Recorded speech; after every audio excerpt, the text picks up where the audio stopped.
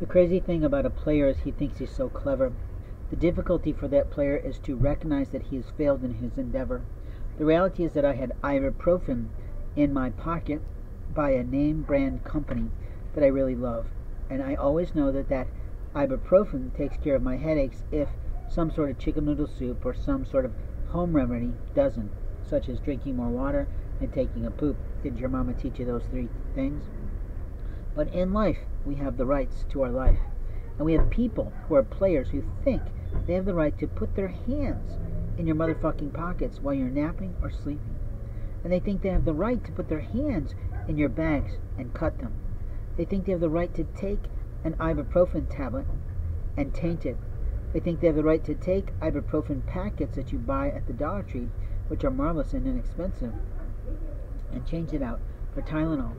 What a lie they've told themselves that they're going to be in charge of your choices of the chemistries and the chemicals you put in your body.